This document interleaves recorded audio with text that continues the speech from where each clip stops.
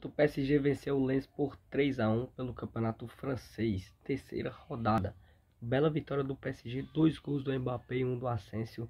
Golaço do Asensio, um belo gol também do Mbappé, que foi o primeiro gol marcado por ele. Enfim, vou te falar melhor sobre esse jogo. Se mais nada, deixa o like e se inscreve no canal.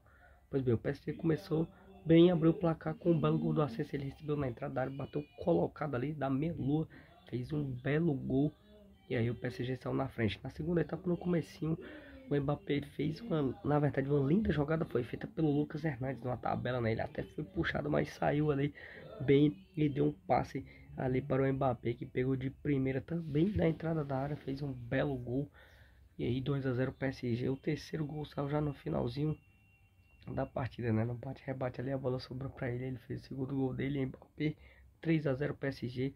E aí o Lens descontou já os 49 da segunda etapa, se eu não estou enganado, com o gol do Gilayogi é, bateu ali a bola, desviou, matou o Donnarumma e ficou nisso 3 para o time de Paris, 1 um para o Lens.